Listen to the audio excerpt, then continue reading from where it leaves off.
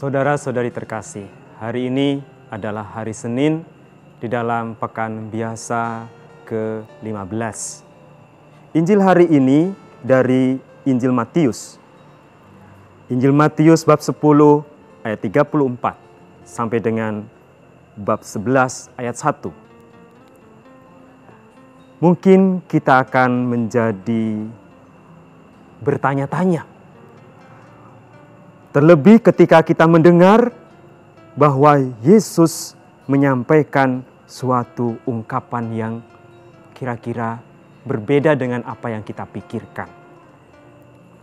Yesus menyampaikan sabdanya kepada para murid di dalam ayat 34. Kurang lebih bahwa Yesus menyampaikan dia datang justru membawa pedang, membawa pemisahan. Mengapa kok demikian? Ada dua hal alasan minimal.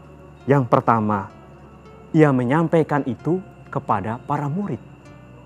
Dan itu berarti Yesus ingin supaya para murid menyadari akan perutusannya. Yaitu apa?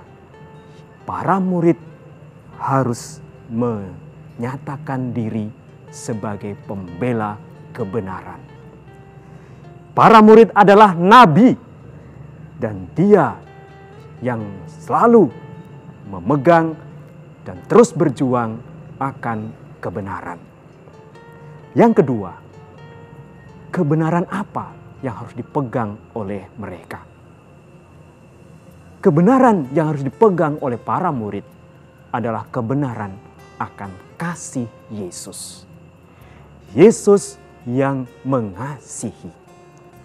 Yesus yang memiliki kasih total seluruh hidupnya untuk kita.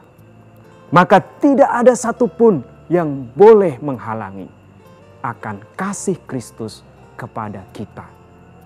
Demikianlah kita pula sebagai murid-muridnya. Biarkan hanya dia yang kita cintai. Jangan yang lain.